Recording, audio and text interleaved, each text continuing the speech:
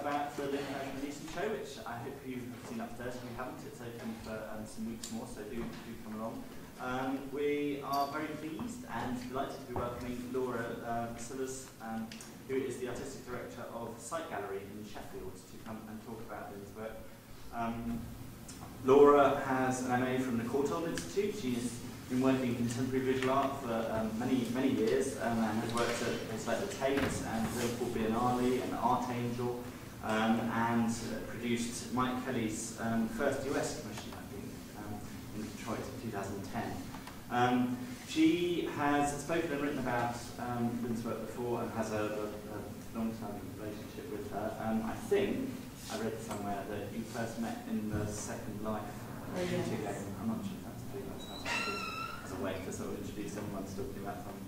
Um, so tonight, Laura's going to be talking about the exhibition upstairs and um, Lynn's work more broadly. Uh, there are going to be some films to see, and there'll be time for some questions at the end. So um, if you have any, then do do. Enjoy. Laura.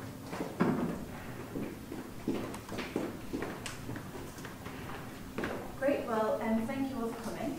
It's great to see you. I am going to tell you about first meeting Lynn, which we'll come back to that, was in Second Life.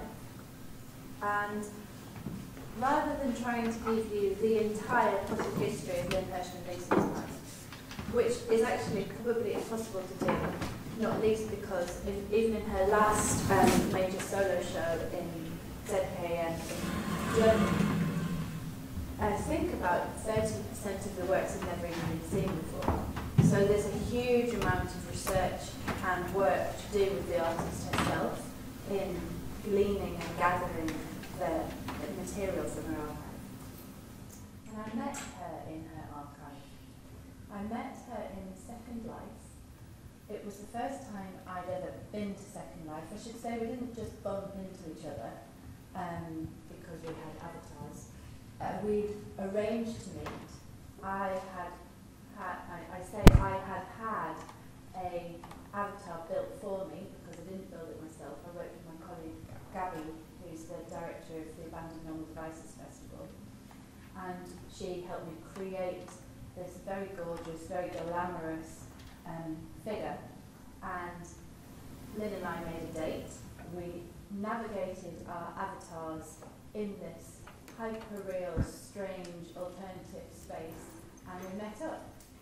I was sitting in front of a live audience, a bit like this, in fact, in a conference, and she was sitting in front of a live audience Utah at the Sundance Festival. And it was quite an important meeting in the sense of bringing together, for me, I've been writing and thinking about Lynn's work for maybe seven or eight years at that point, and for us to meet in that strange, alternative, third space where we were absolutely present but we weren't really there, I think was a really important moment in terms of the practice that Lynn's been developing years. So it's very special to meet in that way. I think this is a, an early piece of Lynn's. She's she did a series of breathing machines, and some of her early work came out of this mask making, working with wax and covering her face with it and creating something that had the essence and the vitality of the lived body, but yet was a strange other object. I think in these early works, although her work goes in many, many different directions after this, I think you can find the nub in some of the kind of key themes and problems and concerns that she's interested in.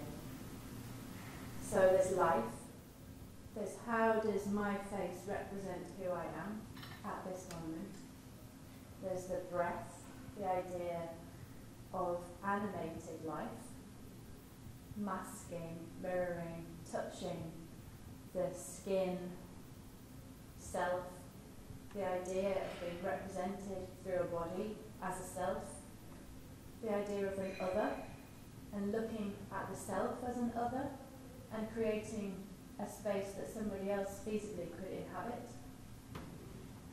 mirroring, looking, a space of hyperreality, lifelessness, residue. In some ways, these very blunt objects do what she was trying to do later on. They sort of transmit a experience from one person to another that can't really be transmitted. And in that failure, they express something about what it is to be human. So here's another, a couple of pieces that she developed. It's quite interesting that in one of Lynn's first exhibitions, where called Self Portrait as Another Person, was actually closed down. At the time when art was a particular kind, was seen as a particular kind of object, a particular kind of work, the museum that she presented in couldn't get their head around the kind of problems that she was addressing. And this helped the artist turn to other methodologies of presenting her work. But before I talk about those, I want to give a bit of context with a piece of work that's quite recent, but I think puts in her words some of the context out of which she was coming. So I am the video jockey in this. So I'm going to put on my first clip for you.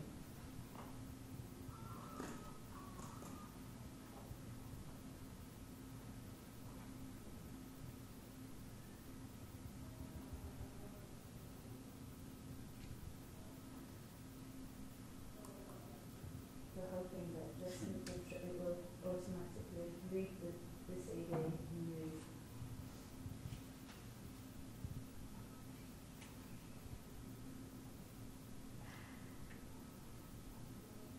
So this is called Women Art Revolution.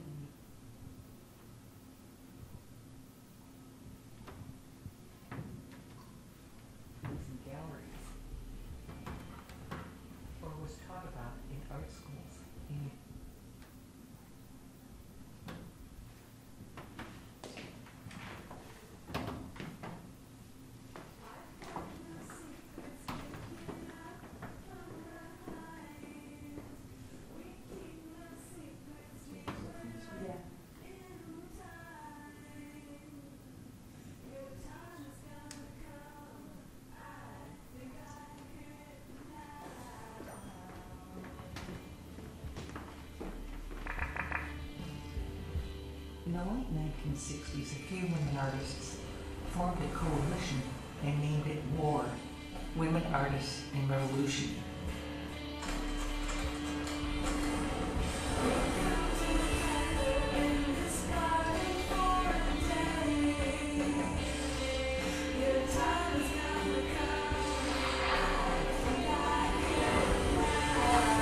And you have to ask yourself why it was necessary for them to do this in the first place. the books that you read in those days were written in a way that denigrated women artists if they even mentioned them. As an undergraduate at Harvard University, I don't think there was a single woman artist whose work was ever discussed in any one of my classes. When you're a woman, it's hard to tell that you're being censored when you're not in a museum to begin with. Can you name three women artists? Who's a woman artist? Uh, Frida Kahlo. Yeah. Frida.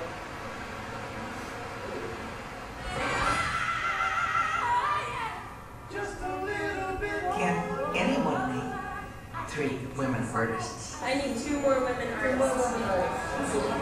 Yes, female. This film is peppered with images that for years you were prevented from seeing because there was no access to them. This film is the remains of an insistent history that refuses to wait any longer to be told.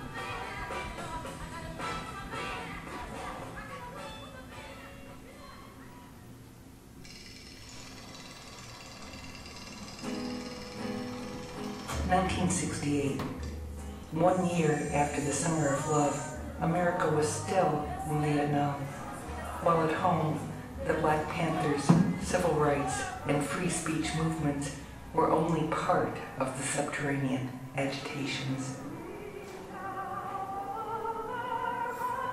Another revolution was in progress. There was a moral fervor to gather the fractured, displaced, and scattered remnants of the conditions of obscurity. I was a freshly radicalized graduate student at Berkeley during the free speech movement. I came from Cleveland and was expected to return. But after Berkeley, there was no turning back. I felt an urgency to capture that moment, to hold on to that experience. I wasn't about to trust my own memory. So I felt like it was important to get Lynn to introduce herself to you rather than me to say in a long-winded way the kind of context that she grew out of. It's quite easy to look back on that time and we've moved on so far and actually to address identity politics in artwork now is quite complicated for lots of different reasons. Um, Griselda Pollock has written about this, about how potentially artists lose credibility if they address identity issues within their work or even within the wider discourse around their work. But at the time that Lynn was emerging and making work with her peers within a political wider context, it was really important. And it was important to not only make your own work and speak about those issues in your own work, but to develop a wider historical political awareness and discursive environment to discuss those issues.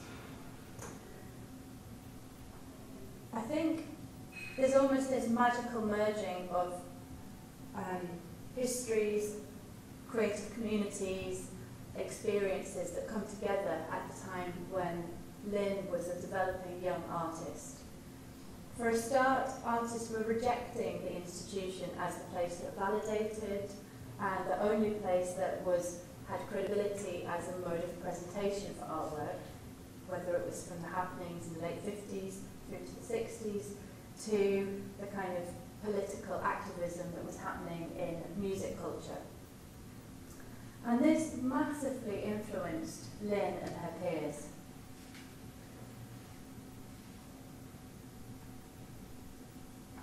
So one of the key pieces of um, practice that I want to touch on is Lynn's work as a kind of finding an alternative place to explore some of these ideas that's maybe a safer zone than doing it with your own identity. So Roberta Breitmore is a figure that Lynn created. Now, you, people who've seen the exhibition will already know about Roberta. But she's a very powerful um, creation in her own right. For Lynn, she actually became a bit of a problem, and at the end, she sort of had to draw a close, a very final close on this identity she created. But this Roberta came out of a context. So I first started finding out about Roberta when I was working at the Tate on a project about identity. And in the late 60s, early 70s, there are a number of artists, female artists in particular, who created alter egos. This is Adrian Piper's mythic being in the middle, who she dressed up as and went out into the streets and documented the experience of being this other male character, through which she could act and do different things and behave in different ways and explore what it was to operate in a different manner.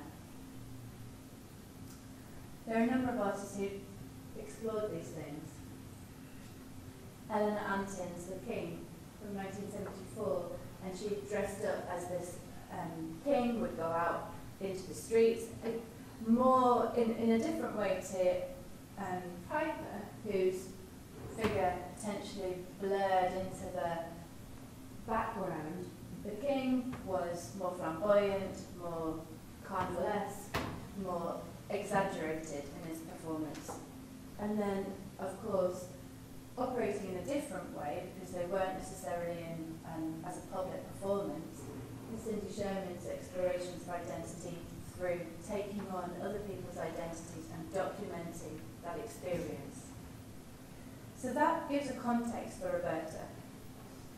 Roberta first existed through putting an advert in the newspaper searching for a housemate.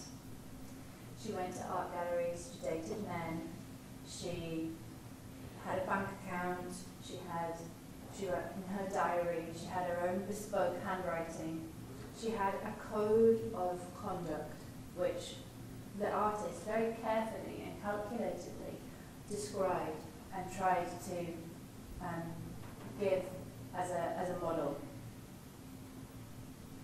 So, in particular, she was constructed through makeup, a mass used tool, something that was very familiar, um, something that could be quite easily coded. As the artist of Roberta, the artist said, Roberta was an interactive tool with which it was possible to analyse culture. Her profile was brought to life through cosmetics applied to her face as if onto a canvas, and her experiences reflected the values of the society that she lived in.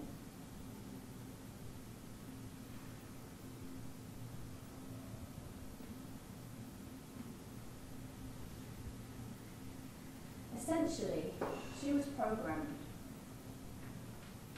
but what's important, I think, for Lynn is she describes two phases in her life as BC and AD, before computers and after digital. And um, Roberta is clearly part of the BC generation.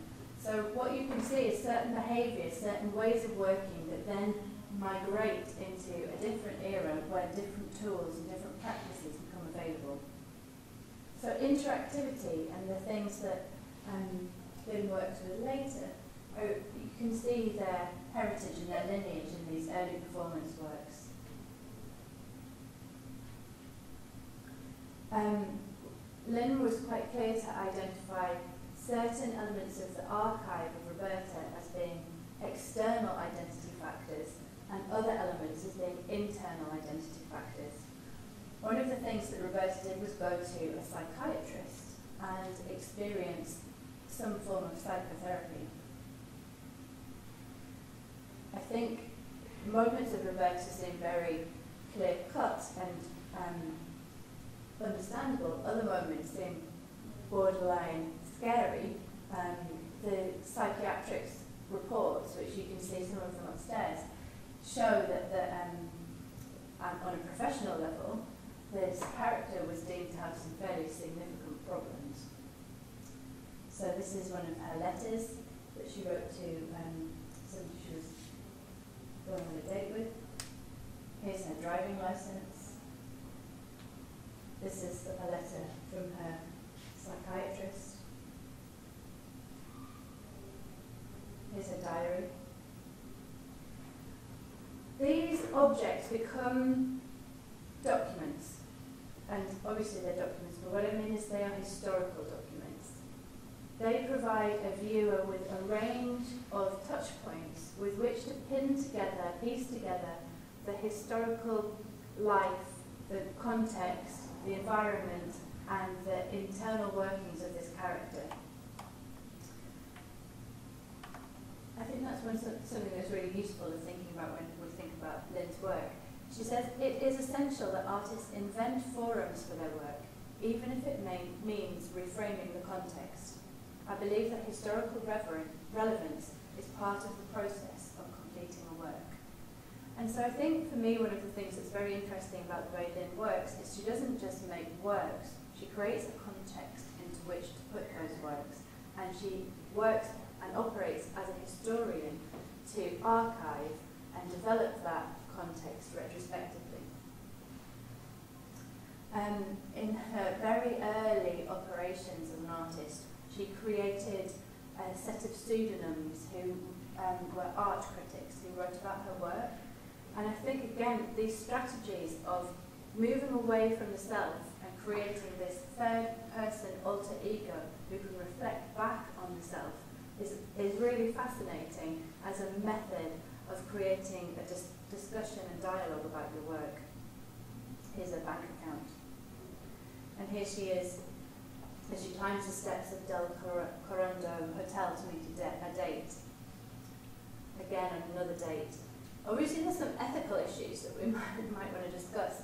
I believe that she only ever went on a date with each man once, so that it wasn't, she was never sort of setting up a promise or um, something that she couldn't follow through. And then Roberta expanded, and here's where the coding and the programming comes in place. So she invited other people to take on the role of Roberta and to operate as Roberta in the real world.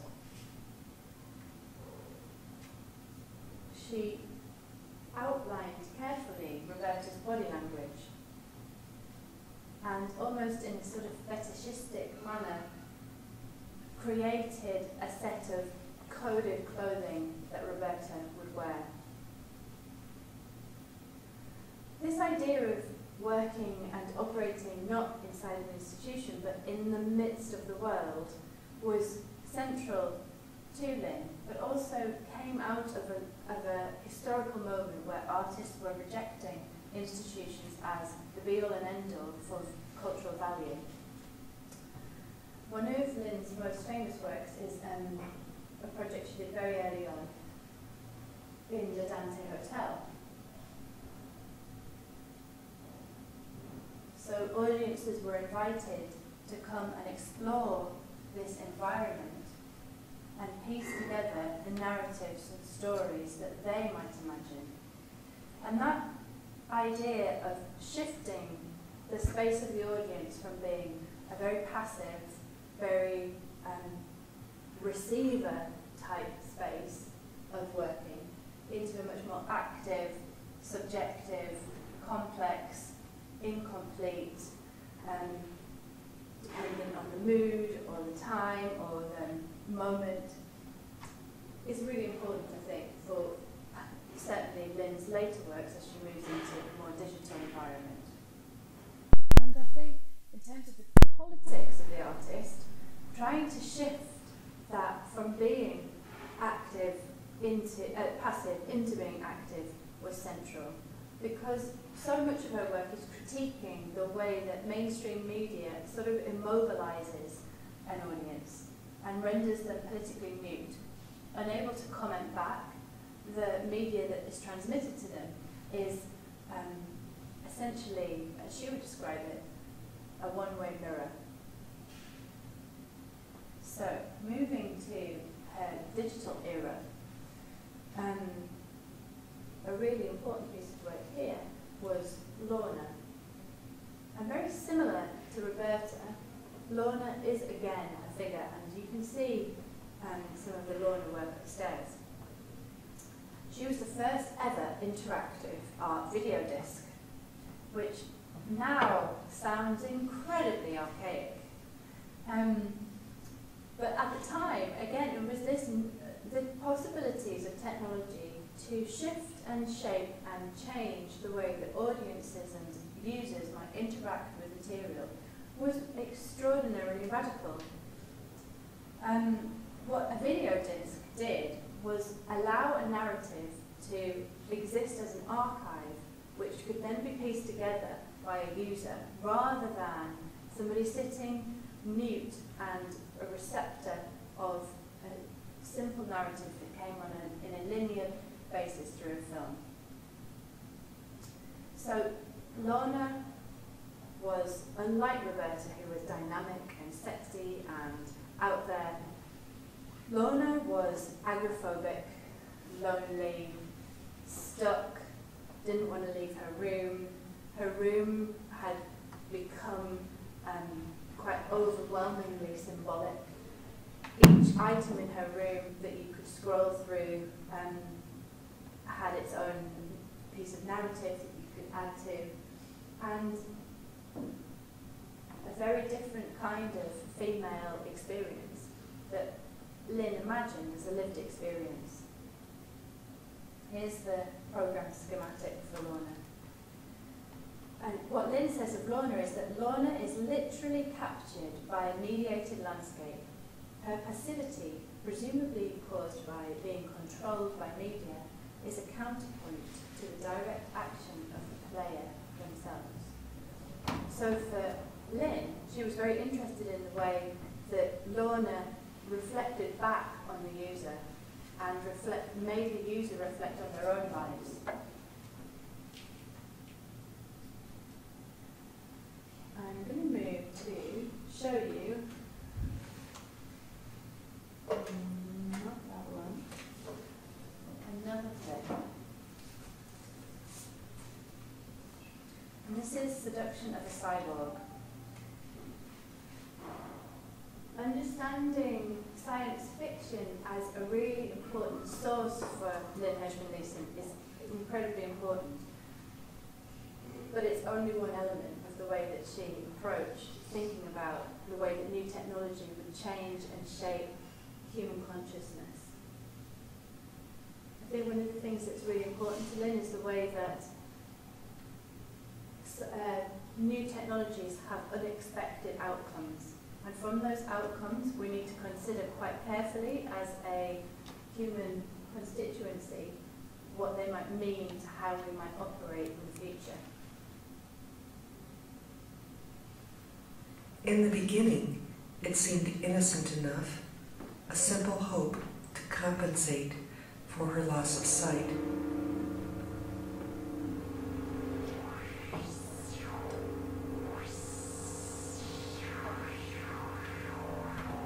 Though her hearing was acute, she was born with eyes that lacked the ability to absorb light.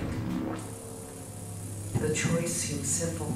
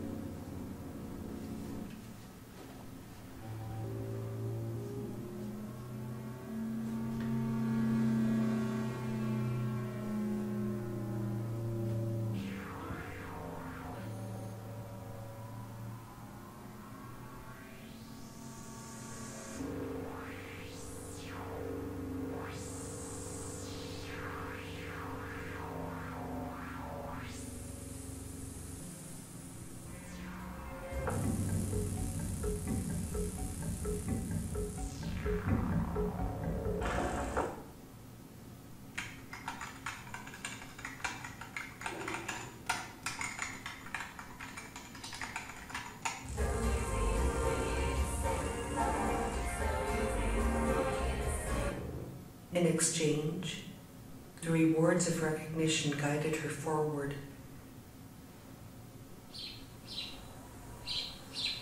Seductively linked to computer transmissions, images of simulated worlds, sounds, masked passions gave enormous pleasure.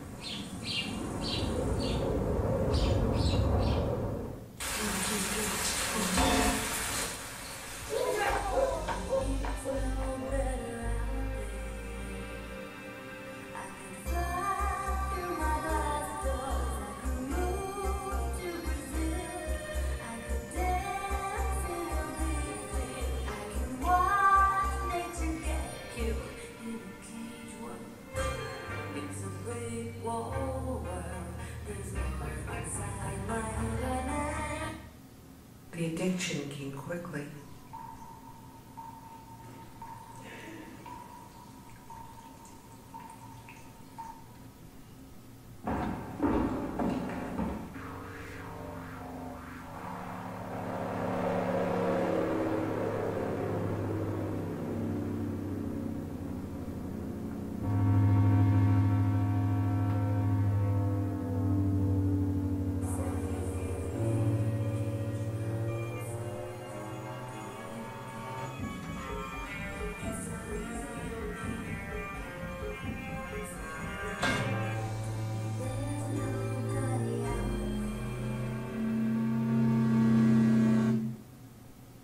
Each dose altered and decoded biological ecology. Her immune system suffered.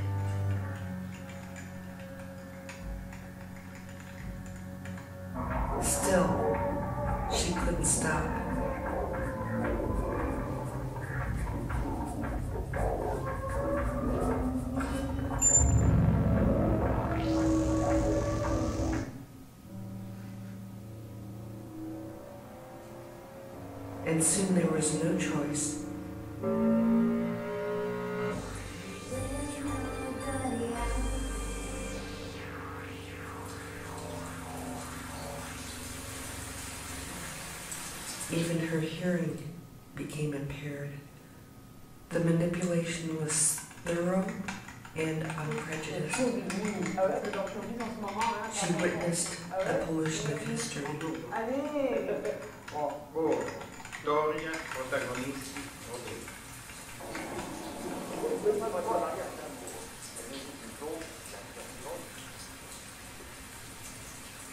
Her body, a battlefield of degraded privacy, loneliness, and terror, succumbed to the inevitable.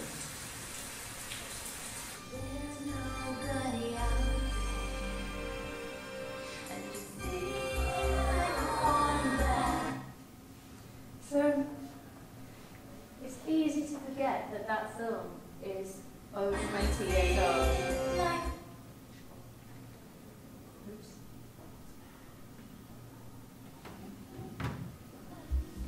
And some of the, the content is not dissimilar to the kind of things that people are speaking about in mainstream media now, about how we become addicted and um, lose the, our sense of reality by placing our desires, our needs, our time, our bodies at the service of our connection to our technology. A really key um, thinker for many of the artists working at this time is Marshall McLuhan. And I've heard Lynn synthesize this in her own words, but going back to it is man becomes, as it were, the sex organs of the machine world, as the bee of the plant world, enabling it to fecundate and to evolve of ever new forms. The machine world reciprocates man's love by expediting his wishes and desires. So this idea was really central to a lot of the work that Lynn did.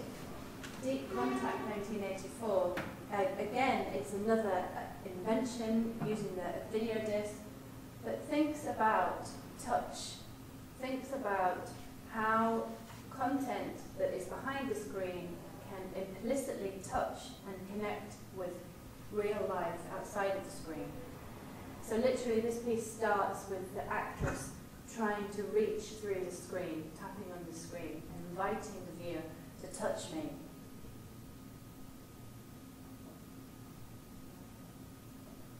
Agent Ruby, which you can see the content of later on, uh, upstairs, and there's a whole room dedicated to Agent Ruby, learns and listens and in an artificial intelligence environment brings the material from the real world into a computer system which then reformats it and en- ensures that the program itself learns from its viewer. I remember seeing this piece, think it was two, either 2005 or 2006 in Zero One San Jose, and being quite astonished at how you could stand in an art gallery and have a conversation with the intelligent iBot inside the work, and it would speak back to you in a fairly um, believable manner. I'm going to move through these ones quite quickly and return to this point because um, actually we've only got a few more minutes of talking before we can speak to each other. Um, throughout her work, Lynn has tried to create archives and tried to create environments where not just her voice, but the voice of her peers, the voice of the people who are thinking alongside her can be shown. Um, at the beginning, we started with Women Art Revolution. That was a documentary which came out of, I don't know, I think something like 12,000 images, uh, hours of footage which Lynn had shot over the course of her life with the women and other and male artists who she worked with, just telling the story of their lives. Essentially, at her heart, Lynn is a documentary maker, and as well as the science fiction element to her work, she's interested in this idea of science true. And I've got stacks of um, DVDs at home, including interviews that she did with early artificial intelligence developers, um, virtual life developers, all the way through as technology has advanced. Lynn has seen it as her mission as an artist to explore and investigate and understand what that te technology might mean. I want to show a the trailer for a, what I think is one of a, a really important piece of work that she developed. And it's probably worth saying that working across many different formats, she's made major feature films as well as more experimental shorts. This one was an important feature film that she made. I think it was 2000. Well, it says 2007 may have been mistaken for a possible bioterrorist. It's my wife. She's not breathing.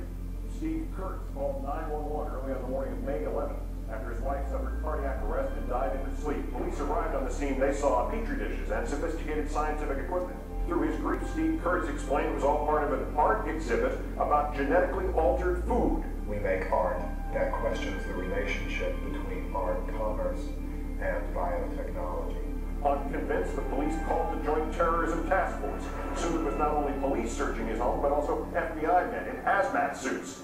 They said that I had terrorist Arabic writings in my house. Is that Arabic writing? It was an invitation to an art show. They want to charge me with possessing weapons of mass destruction. They were trying to manufacture a crime, and they were trying to construct me completely as something that I wasn't. I work for the FBI in Buffalo office. Like they had been reading our emails or listening to our phone calls, they were watching the house. The FBI seemed to have been interested in Steve's politics. But they were against the activities of the art ensemble, just a way of getting. We've drawn up this petition. We signed this petition, the FBI is going to have our names on file, right? People have to know what's happening in this country. It's too important to keep quiet. The majority of Americans don't know what's in their food. Big corporations are patenting life forms. There's really big money attached to all of it. The fact that the government is watching an art group whose subject happens to be illuminating the population about transgenic foods is the real point here. I think it's the first time this has ever happened uh, in the history of federal court, where somebody is being charged for fraud, but no party feels defrauded. This is not about finding out the truth. This will be a huge expansion of power for the Department of Justice. If an artist is silent, then the potential is for everyone to be silent. God would never forgive us. He always said, you know, never surrender, never give up. So there was a, a film called Strange Culture, and it tells the story of an artist called um, Steve Kurtz, who made incredible work with his partner, who tragically died, and very quickly a situation escalated whereby his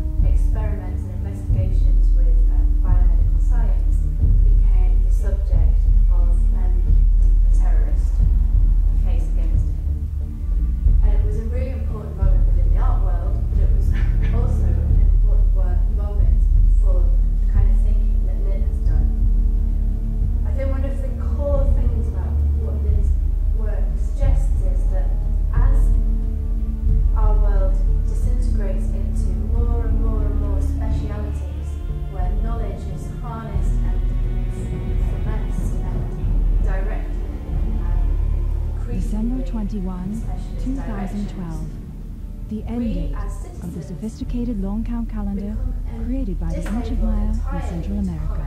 on the ethics, on Countless books and the contexts, on the things that surround us, um, resulting in us operating environments that we are completely unfamiliar with, but yet we don't understand, and we're not able to have any political agency within. The um, Infinity Engine that you can see upstairs, where she's explored um, different scientific processes and some of the genetic engineering and its, its motivations as well as its um, outputs, is an example of that. But as a documentary maker, some of what she does is also try and make um, these specialist environments familiar to us. So literally taking a camera into um, a biomedical genetic engineering laboratory, which most of us would never see, and interviewing people who work with this material. So the personal interview has been the backbone of her research and her work. And the two things, the research and the work, often merge so that there's a continuum between um, what she's looking at as an interested, engaged artist citizen and what she's interested in as a creative individual. I think the final things I want to say about Lynn, in terms of why am I interested in Lynn's work, I think she provides a model for how to be an artist, which is really important. In her war film, one of the few men that was filmed is an artist called Mike Kelley, and he was also often referred to as the model of an artist. What doesn't, what doesn't, how can an artist operate in the world that other artists can learn from? So for Lynn, embracing your peers. Often we look up to those who have gone before us, but most of our creative energy will come from direct connection with those who are around us now. Exploring the world and being a, even when you're not necessarily um, educated in a specific environment, being a critical observer of the world and educating yourself through creating new connections with people who know about things that you don't know about. And then performing into that world. So not just making work that sits on the wall, but making work that engages, connects, agitates, and um, leaves a trace in the world. I think those are the things that make, for me, Lynn a really interesting and important artist. And I'm going to leave it there because we're now 10 to 8 and I think we have time for some conversation. Thank you.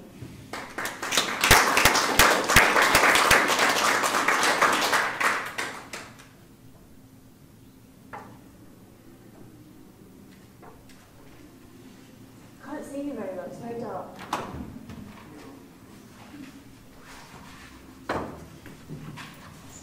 Has everybody in the room seen the show? Um, very, very briefly, very briefly. So a couple of the pieces that I showed you, and um, The Seduction of a Cyborg, from 94, are in the show. Um, and Women Art Revolutions in the show as well. So four, four feature films are in the show. And then there's a really fantastic archive of um, Roberta Breitmore's character she created. Um, and then some of the early interactive pieces. The problem of presenting early interactive pieces is obviously that the technology, I mean, the technology in our pockets now is so extraordinary compared to that kind of technology. It's a challenge to see its political potential outside of our sort of technological collective awareness. I think it's probably worth pointing out that some, the most effective technology is that which makes itself invisible to us, so that we stop questioning its alternative um, potentials, but we just start absorbing it into our daily lives. But does anyone have any thoughts or questions? Hello. Um, with the Roberta uh, Reinhold project, um, you said that she um, was a fictional character created to sort of mimic the culture that Roberta felt surrounded by at the time. Do you think it was a negative portrayal of women of that time? Was she stereotyping um, what she thought women were seen as at that time? I'm sure some of that was in there. I mean, Watchers and things like that. There was, and you know, those. I, I think it's quite interesting when you start really watching lots of Lynn's um, short films and the, the work that she's made. She made um, a really important ongoing piece, electronic um, video diaries, where she just talked to camera, sort of preempting this sort of disclosure environment that we operate in now, which is well before then. Um, she hasn't shied away from what might be the more embarrassing stereotypes and sometimes she has allowed those to exist quite strongly, perhaps so that we can see them as, as that. Um, yeah.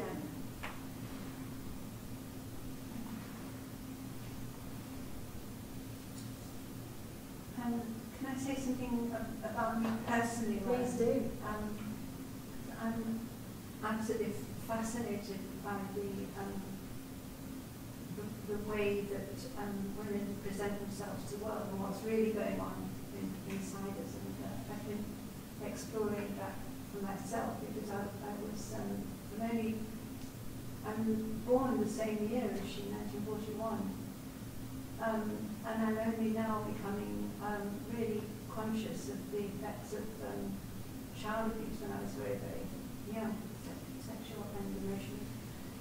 And uh, I've recently been um, making a film with a, a very experienced director um, in which I, I wrote the script and I play myself and my mother.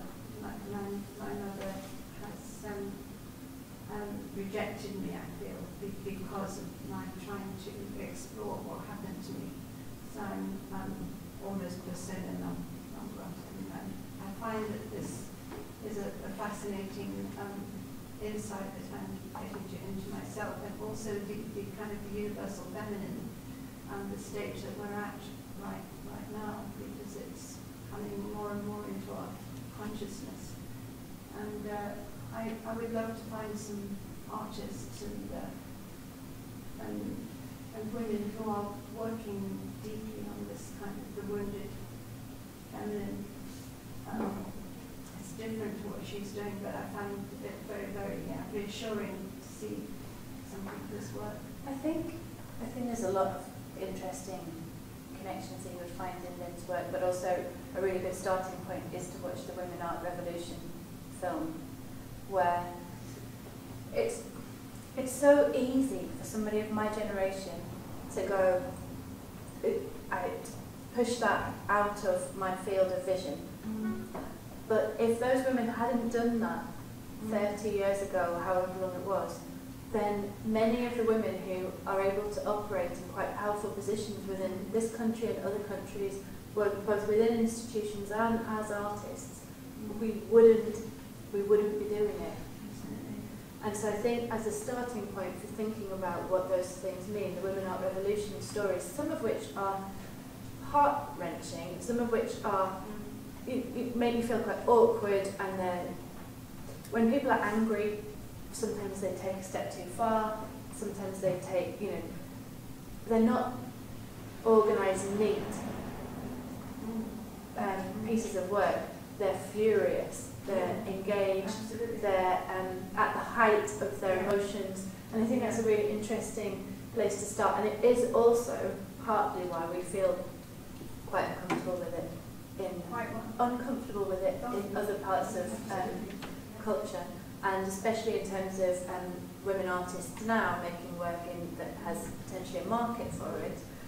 Why I think many of them will distance themselves from that kind of work because it has that frenetic energy which is associated with this political activism, which is now we are still we're, we're now comfortable with because we want to enjoy the rewards of that activism without understanding where those rewards necessarily came from. It's very deep and fascinating fact. It almost feels, because I've looked at lots of different female artists, that in a way, because as women, we construct ourselves and paint our faces, that we can use ourselves as perhaps more naturally as canvases and it almost feels as though it'd be amazing to have an exhibition at some point which which touches on that because you do have people like Cindy Sherman and you do have I can't remember her name but she, I think she was a French female artist that literally had plastic surgery. Ah, she- Orlan. Yeah. Yeah. So I saw her at the ICA to reinvent herself, and there are all these incredible droplets and catalysts which are specifically powerful to technology in the way that we now construct how we are perceived, whether it's in selfies or Facebook or however the airbrush. It just seems sort of pivotal in looking back and forward in those in those key moments, and it would be just wonderful to have that kind of exhibition, which almost because there's there is the history there, and, we, and I think now we're so caught up in technology and where we are now that we sometimes do forget to look back. And some, I'd never heard of her, even though I have heard of Cindy Sherman and other female artists. But I think Well, there have been exhibitions, and there's there's a really important one called Double Life, which was Yeah. curated by um, a very important um, living curator called Ruth Nowak, and it's a really fantastic book that I could recommend to you. But yes, I think there's there's more space to explore this stuff, and I think that's why it's important. It's important that um, Lynn Hershman Leeson has had the major um, solo show at ZKM in Germany, in Karlsruhe in Germany, which is huge. Um, and that's, but that's a specialist technology centre. And so it's got another kind of importance that the exhibitions happened here in Modern Art Oxford, which is an institution that is so um, deeply associated with contemporary visual art. And so in that sense, something that's come from a very a more niche position has moved into a, I, I don't really want to put the sentence together that modern art Oxford is mainstream because it's been very expen- experimental things over the years, but nevertheless it's operating in a, in a, um, a, a- broader field. So this is, I think, I think this is Lynn's first, well certainly her first major solo show in the UK for a significant amount of time. So this show itself is a really important gesture towards that. So hopefully there will be other kinds of research and exhibitions that develop from it, and people will, you know, who hadn't heard of this figure will hear of her and make put two and two together with other kinds of practices. But actually, there's um, it, I was recently in New York at the new museum, um, the Triennial, and it's called Surround Audience, and there are a huge number of young artists addressing these kinds of weird spaces between identity slippage, the use of technology in their daily lives, the um, creation of different kinds of identities through whether it's text or media or um, whether you know the kinds of um, strange identities that the internet provides space to be created that then merge back into the original identity. So these things are actually very current because lots of what Lynn was thinking about was preempting the kinds of issues that we might we might start to struggle with as this technology became more integrated into daily life and reached um, its sort of zenith. And we are. So that's part of why it's so relevant to look back at it. And those problems are there. Is there anything else, any other thoughts or questions? I'm aware that we're, yes, there's two, there's two there, but um, so I'll take those both. Go ahead. Well, I would like to ask you, there's uh, any kind of documentation or maybe there is information in diet, how she managed to switch between doing the uh, performance. So how, like, the psychoanalytical practice or um, psychotherapy or something? Yeah. Well, I think you can see there's there's a piece, there's a piece of footage I was going to show you, but then I realised I would wouldn't have enough time to get through the material I wanted, which is actually in the exhibition, which is partly why I didn't show it. Which is there's only one small fragment of footage of Lynn turning herself into Roberta, and it's just her in front of a mirror becoming Roberta. Um, the, some of the therapy, if you read carefully some of the documents, clearly what the therapist is talking about is the problem of these dual personas.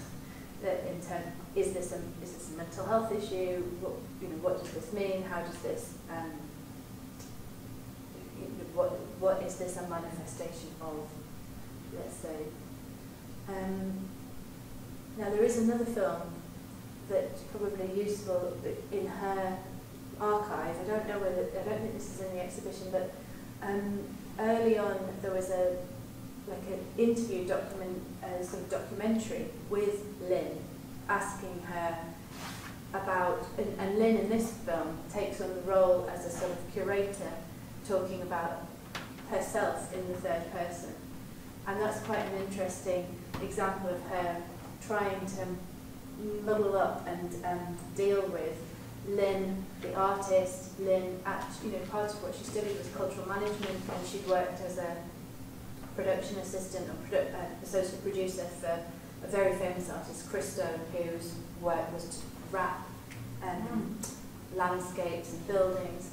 And so at the early point of her career, as she was knitting together the work she did to make money, the, her performance works, um, that sort of mediated position is quite, you can see that in some of those very early archive pieces.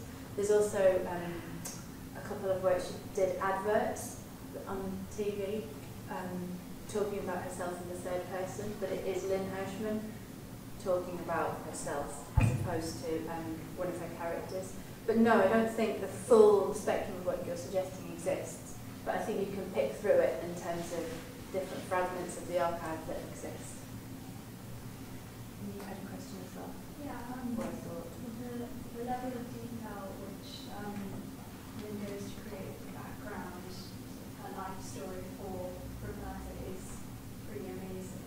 Um, and I was just wondering how she managed to decide on these very specific things she did. Was it based was it based on, on sections of her own life or a combination of people's? Or was it just completely fabricated in the imagination? I could fabricate you an answer, but I don't know the answer. um, that's really a kind of question that we should ask Lynn. I don't know. This this um, event, this talk is being streamed live, so maybe Lynn's watching. That's if somebody wants to know about your work. Um, can you find some way through the mediated world to let us know? Thank you. Okay, so on that note, I think I'm going to close, but thank you all for coming, and um, I really hope you enjoyed the show, and I hope that us talking about it will you know, spin up some new ideas for you. So thank you.